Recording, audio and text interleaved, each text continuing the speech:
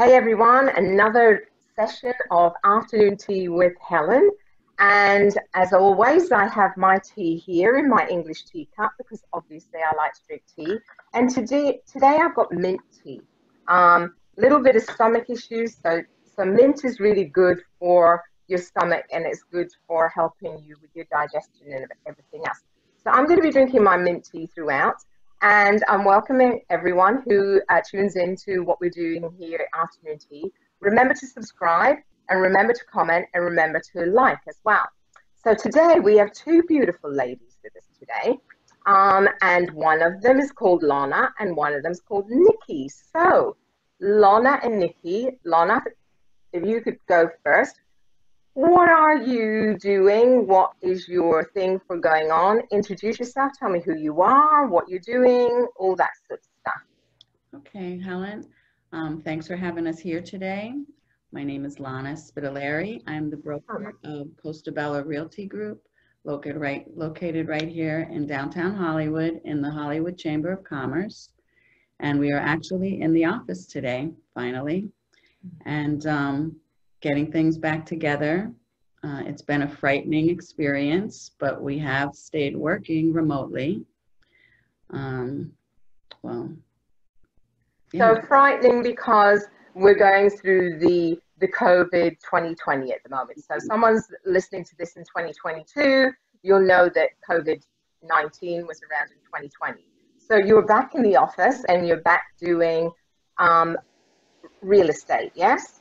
Real estate, yes, and growing the business. So how, how, good. So how did you get into real estate? How long have you been doing it? I've been in real estate for 20 years, 20 plus years.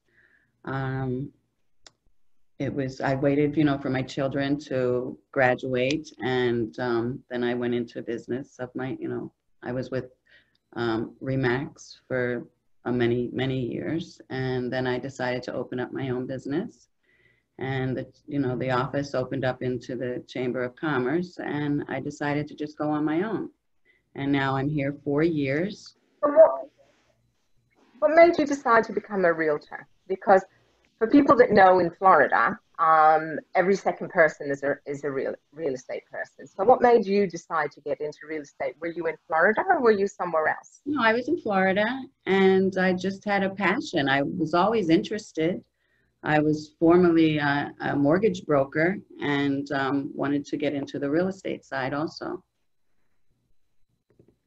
Excellent, excellent. So what, what do you find um, motivating about being uh, in real estate as a woman in real estate? What are some of the things that are really good about being a realtor? Well, um, just being with people, making them happy, finding them the perfect home for their families, uh, there's there's lots of um, good things to it. What would you um, what would you say is some of the uh, downsides of uh, real estate for women, and how do you overcome those challenges? I think Nikki can speak better for us than for the. okay, Nikki. So, Nikki, tell us a bit about you. You're Nikki, and what's your last name? My last name is Hannah. Um, I'm actually born and raised okay. in Hollywood. Um, I've known Lonna, I think, since the age that I was six. And this is Hollywood, Florida. This is Hollywood, Florida, not Hollywood, California. Correct. Um, I think I met Lonna when I was six years old. Um, I went to Nativity in Chaminade, Madonna High School long time ago, I was part of the Chamber of Commerce in Hollywood. I was on the education board. I had opened the first charter school on the Young Circle area in 2003. So I've seen, you know, the charter schools blossom. And um, this was a perfect fit because Lonna, Lonna is ready now after being in her own brokerage for four years to take it to the next level. So to go back to the question that you asked, what possibly might hinder women or might be some obstacles, I think um, everyone has their own goal setting. You're a life coach. So you look at, you, you have your extroverts and you have your introverts. You have people that can walk into a room and make conversation with people um, of any kind, and you can have some people who will be in the corner. So any type of sales, whether it's real estate, or selling your services or retail, you have to have a passion for what you do. What would hinder a woman in this field is maybe someone who hasn't maybe came from a corporate setting or a job and they're coming out from being a homemaker and they haven't been used to some of the technology that's out there, the negotiation tactics, um, some of the, the mortgage issues that are, you know, that currently go on with first time home buying um, and how much money needs to be down. But I think it's about adapting and overcoming. And if you have your mindset on, you know, being in any profession, you're able to, um, you know, break through all those obstacles. So um, there's plenty of training out there. So Go ahead. I was just going to say, what about the um, the well? There's a couple of questions I want to ask, but the the training side of it. So, someone getting into to real estate, do they have to know about mortgages? Do they have to know about title? Do they have to know about land? Do they have to know about property management? Do they have to know all of those things? Not exactly all of them, but it's good to have knowledge of what you're doing and, you know, for, as for zoning and, you know, schools and, you know, things like that. Your neighborhoods, you need to know your farm areas. Um, yeah, you need the knowledge, yeah. Well, typically almost So everybody has, when, when, everyone everyone has to live whether you rent or you buy something. So at some point in your life, you've had some type of transaction, whether you had to go rent an apartment or rent a house or buy a house. So sometime around your life, you've had to walk through that process. So at this point, if you want to become a realtor, it's remembering the process that you did and then just, you know, taking it to the next level to know more of the details. Nowadays with technology, um, that's, that's a good way. To, yeah, that's a good way to explain it because everybody's gone through Yeah. either renting or buying at some point. So that's a good way to explain it. So tell me, when you do an open house, I know that there's a lot of virtual stuff right now, but um, normally when you do an open house, tell me some funny stories about open houses. Nosy neighbors. yeah. It's- You know, nowadays, They, they come into the open house? Yeah. Right. nowadays, um, because we have technology and we're able to make videos, even before the coronavirus, you were able to make videos, walkthroughs, Right. um, do PowerPoint slides and things like that. People can see the property before they even want to even show it, maybe to their client, and then their client can see it. You know, I really don't like that style, what have you. So it kind of saves the time of having to go to an open house. Also, in open houses it can be a little bit impersonal because a lot of people that are in there. You really don't want to like discuss the nitty gritties or start negotiating when there's other people around. But um, that world's Right. kind of changed. Um, open houses, like they're like brokers opens that they do open houses for like your multi-million dollar luxury kind of homes because that's a particular buyer. So you're mostly entertaining other realtors because those realtors have those type of buyers. So they go and they preview the, the property ahead of time. And then this way they can go back and find a buyer that can, you know, really wants that type of home. So condos, townhouses, really no one's really doing as many open houses um, because that's just not really like you're not gonna walk through traffic through a condo association and what have you. Now with the lock boxes and all that, you can make appointments online, so people you can easily show and have that one-on-one experience. Yeah. Which is which is makes it easier for Yeah, Yeah. it makes it easier for you because you've got appointments and you've got you can time manage and your calendar and all that sort of thing.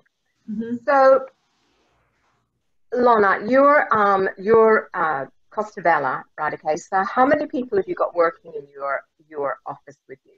right now we have 19 and we have more on their way. A lot of them work, you know, So you have 19. 19 agents. So you have 19 realtors. Yes. Okay. So, so, so explain to people that don't know anything about real estate. Okay, you go out and you take your real estate license, and now you want to go and start selling, you know, and making money. So, what is the purpose? Do they can they do that by themselves? No, They've got a license that can go off and do something, or do they have to join a uh, group of some description? yes, you have to be under a broker, which I am the broker, Okay. and uh, you need training. you need a, you know, they just can't come right out. You know, the, when they first come out, you, you sell to your friends and your family. But after that, you might have a Right. lull and you, unless you know how to generate business. Right. And that's where like a chamber of Mhm. commerce comes into handy is to use those networking. You know, for a long time, chamber of commerces fell off the map because a lot of your millennials, people under 40 weren't utilizing the chamber of commerce world because they were so used to social media and other types of networking things that they were using at college and stuff like that. You're seeing um, it come back around, especially now um, with the coronavirus, they've been very proactive in the community, trying to help small businesses, working with their local governments, working with their state officials um, to help keep the small businesses going. Because without those small businesses, we don't have those tax dollars coming in. And you want people to live Right. in certain areas because there's places to eat, there's places to shop, there's growth and opportunity Mhm. jobs. So um, I think you're going to see a change with the Chamber of Commerce is. I mean, Hollywood is a phenomenal one. It always has been um, a great, you know, chamber. Um, has great leadership. It has a great board of directors. I think now you're going to see more people getting involved because they're going to have to go back to that networking and this, you know, really what makes them different than someone else or buying online and getting back to that one-on-one because people buy you people buy your reputation they buy um you know how you feel um, buying a home is a very emotional purchase um, and selling your home is Mhm. an emotional purchase especially if someone had passed away and you have to sell a house or you got divorced or you know now you're an empty nester and you and your husband have to move now into a condo because you don't need this 4000 square foot house so there's a lot of things that a realtor is to um, Emotional, with. emotion. It's very emotional. yep so Mhm. Yeah. So Nikki, tell me, how did you get from uh, being on school boards and involved in all the schools into real estate? How did you make that bridge? Okay, so the reason why I was in the school board um, was at the time I was getting my master's. So I needed something that was working for me. There wasn't really online schooling at that time. Uh, I come from a family of educators. Um, all the females were teachers, and I taught business. So I've always been a business-minded person, but everyone needs to know business, whether you use it or not, because life is a business. Um, whether you're a realtor or whether you're a bank teller, a life coach, everything is a business. A school is a business. There's a budget, there has to be marketing, there has to be fundraising, there has to be an HR department. So um, I taught business. Um, it wasn't like my end all goal to be an educator, but I took that as a stepping stone to actually learn more public speaking, you know, dealing with confrontation with parents, because that's always fun because our kids Mm. Don't do anything wrong. Yeah, that's always fun. Yeah. Yeah. And then I actually went into the Oh, health. I'm, I'm sure. I'm sure now with all. I was going to say, I'm sure now with all the homeschooling going on, they now realize how the teacher was right. Correct. Right. And, and I hope they're realizing it. And I hope they can understand some of the glitches that are in the school system that they need to actually help and be more proactive in communication and reading your Right. understanding, you know, all these different databases that the kids are using because that only help them as well, even in their professional life, these parents to know how to use some of these technology um, setups. Course. So Absolutely. So, how did you how did you transition into real estate from there? So actually, I in 2000, um, I started doing real estate. I tapped into it. Um, I was my, my first husband was a general contractor, so we did a lot of buying and flipping of homes. And then the market crashed, and I just I kind of got out of it. He was still doing stuff, but we weren't doing so much the buying and flipping. He we did he did commercial build outs and stuff like that. And then I went into um, the health and wellness industry, which is another billion dollar industry in South Florida. And that actually kind of brought me where I am today because of the book of business, because the amount of people that I met. Um, I had a boutique style gym where you had to have a certain kind of income to afford. It wasn't like a Youfit where it's $20 a month. People were spending between 500, you know, to a thousand dollars. And I was in an area where um, homes range between a half a million to $2 million. So I became friends with them, like almost like family. They would invite me to their bar mitzvahs, to their weddings, to their kids' parties. And from there, you build a book of business. Um, I took on a leadership role with the Davie Cooper City Chamber of Commerce as the CEO, and I was there for um, almost three years, and I revamped it. Um, they need a whole new facelift, you know, bring in somebody younger who had the energy, and it takes a lot of energy to run a chamber of commerce Mhm. job. Oh, yeah. Met some phenomenal realtors. Um, you know, they kept saying, get back in the business, do the business, blah, blah, blah. And at this point um, in my life, my fiance is retiring from the fire department after 33 years, and I just got back into it. So Wow. we understand it. I have investment property, so does my fiance. So we understand having multiple ways of having income um, and understanding how to make money with other properties, how you can take equity from another property you have to buy, purchase another one, Mhm.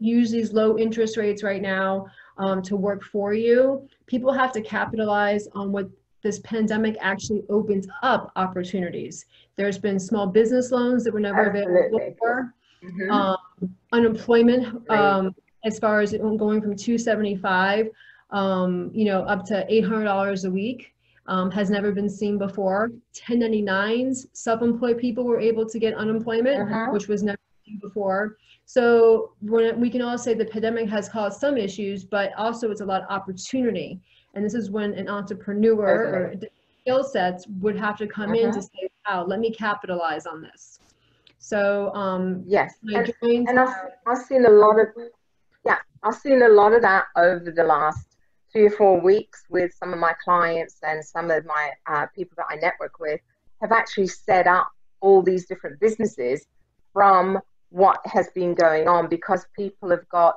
uh, time to think about the things that they wanted to do and they've got the opportunity as well, like you said. So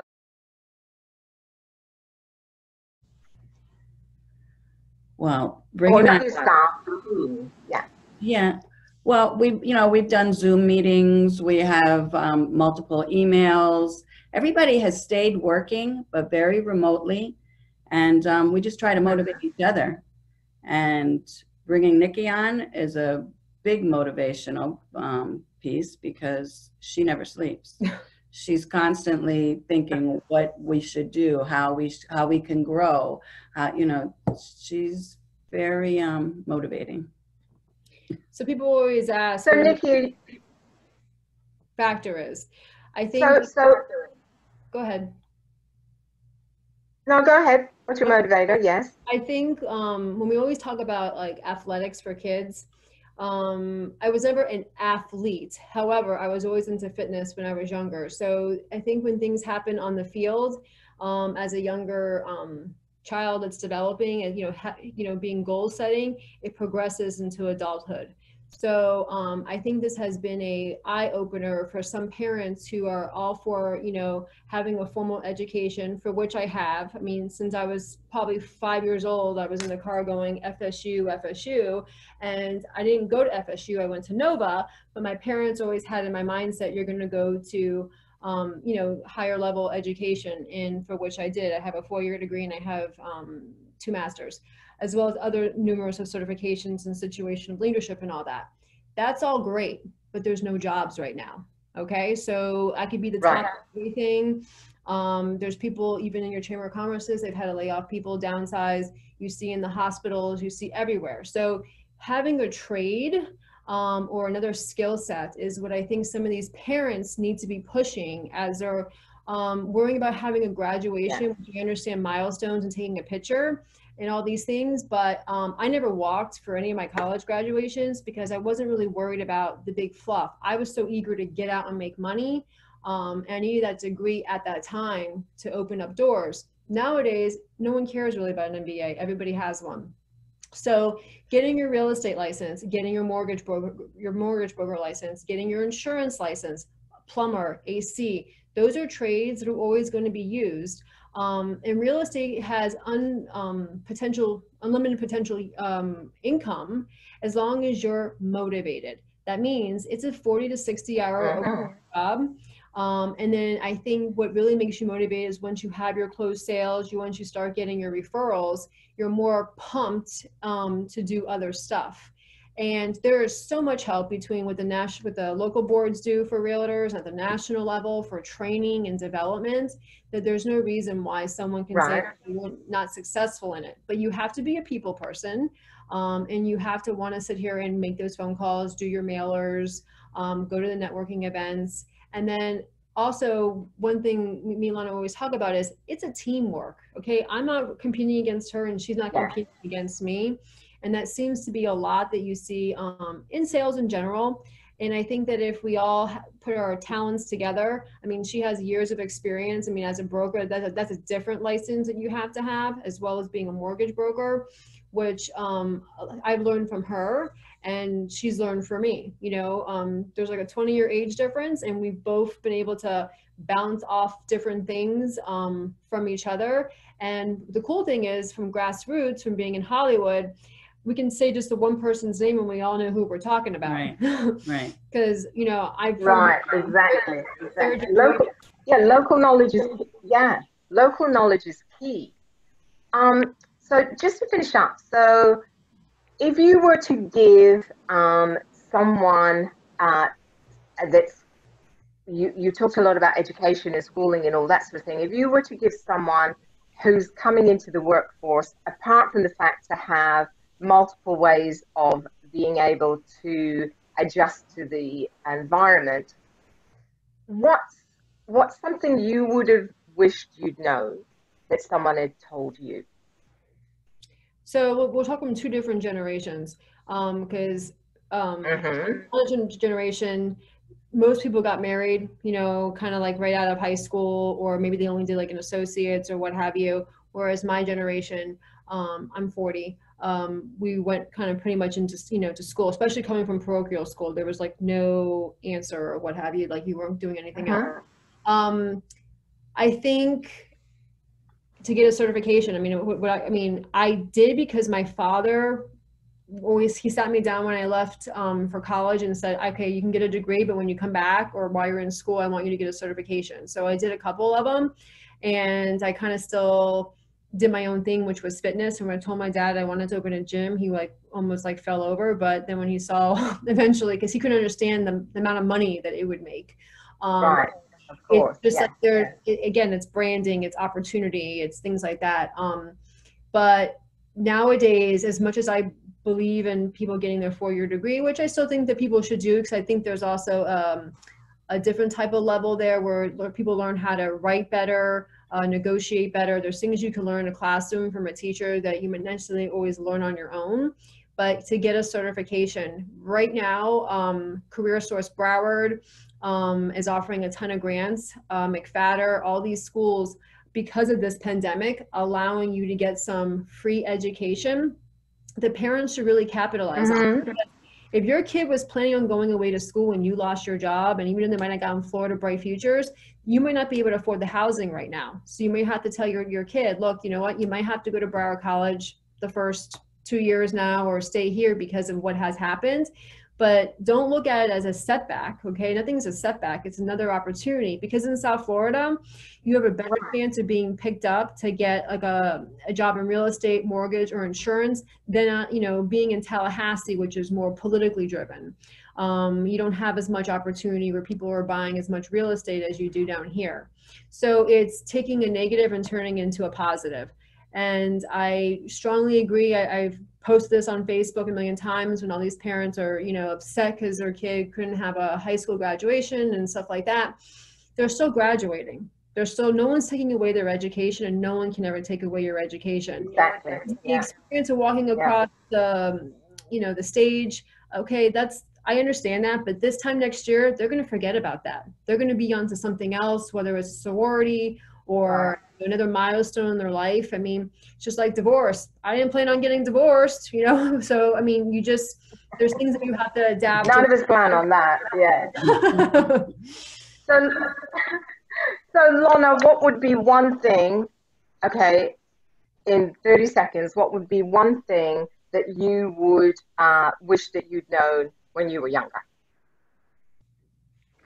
I wish that I would have been pushed more to to learn because now I learn every day I learn something, you know, and I and I cherish it because you really need that. But when I was growing up, you you were thinking about getting married, you know, you you really weren't it what really wasn't the education. Right. Yeah. So yeah, I think Mm, it's, learning and, and And one thing to comment Yeah. from And I think learn, just because I mean, Lonna raised her kids. She has three great kids, and then you know, unfortunately, she got divorced herself. And what she did, she had to start thinking, how I'm going to make a living for myself. So if she can be a role model to other people because of life changes, anyone Yeah. can do it. So she's a good Mhm. model. Someone, you know, anybody in this area, um, in our in our chamber, um, or in the area that want to come and talk to her, like, how did you do it? And I mean, she has a you know a great story, and she's open and she'll share it with you. And her son got his license. Mhm. Fast forward, you know, I guess almost like 17, 16 years later. Now Yeah. she's at 20 years, but she was able Yeah. to open up her own brokerage because of her hard work and dedication. So Sure. she is an entrepreneur, an entrepreneur spirit, and she allows you to run with your ideas. and, and, and learning stuff and education are two different things, you know, so learning things and being um, more educated in life skills is what I find that people are lacking. You know, they can have lots of um, MBAs and all this sort of stuff, but a, a lot of people don't have the life skills that match it. You know, so I, I think, like Lorna, you said, Yeah. learn, learning all the time and being involved in, and and taking that extra mentorship and all that sort of thing from from people that have gone through things and Yeah. don't reinvent the wheel. You know, yeah, that's, you know, which I think is amazing. So listen, ladies, thank you so much. You've been very interesting. And anyone that wants to become anything to do with real estate, these two ladies seem to know all about it. So uh, their information will be below. Uh, they will put in the comment below their, their uh, website, their emails, all that sort of thing, so you can get in contact with them. And another afternoon tea with Helen, of course. So subscribe, make sure you like, make sure you comment. And thank you so much for listening again and being here at another afternoon tea with Helen. Thank you.